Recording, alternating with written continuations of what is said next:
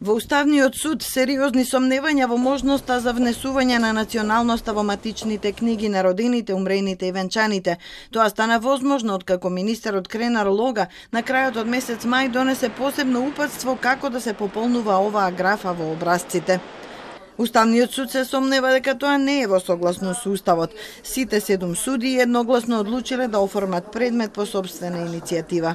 Председателката на судот Добрила Кацарска, која го свикала колегиумот на брифингот со новинарите, не изнесе аргументи за своите сомневања, но изрази убеденост дека упатството не е уставно.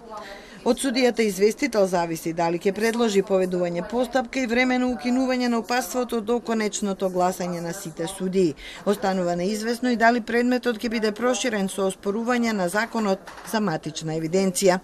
Од Министерството за правда тврдат дека упатството е целосно во согласно со законот. Одредбата за запишување националност во матичните книги се наоѓа во законот уште од 95-та година. Законот 10 пати е менуван, но овој дел останува ист 28 години. Неприменувањето на законот е кривично дело, велат од правда. Применливоста ја обезбедува токму упатството што го донесе министерот Лога на 29 мај годинава. Одлуката што ќе ја донесе судот е конечна. Просекот на одлучување е околу 4 месеци, а евентуални дополнителни иницијативи од поединци или партии ќе бидат споени со онаа на судот.